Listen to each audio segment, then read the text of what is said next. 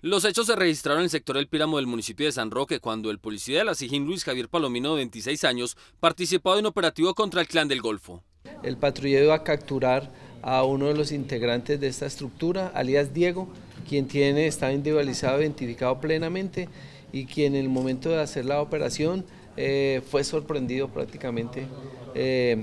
en su inmueble y él al intentar... Eh, prácticamente capturar el patrullero Luis Fernando Ruiz, Luis Javier Ruiz, eh, fue, eh, le disparó este alias Diego y lamentablemente falleció. Según la secretaria de Gobierno, este hecho hace parte de una arremetida del denominado Clan del Golfo, que como consecuencia de las acciones de la fuerza pública no se había vuelto a manifestar. Pero no, pararemos eh, las operaciones que tenemos en Urabá conjuntamente en la operación Agamenón con Ejército y Policía, tenemos 130 policías adicionales acompañando todos estos aspectos. Autoridades aseguran que ya están tras la pista del asesino del patrullero a quien identificaron con el alias de Diego.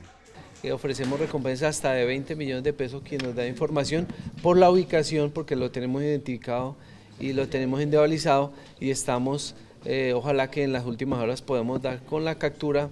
y esclarecer este hecho. En el operativo las autoridades lograron la captura de siete presuntos integrantes del clan del Golfo y la aprehensión de un menor de edad, tres de ellos requeridos por los delitos de concierto para delinquir agravado con fines de homicidio, extorsión, tráfico de estupefacientes y tráfico de armas de fuego.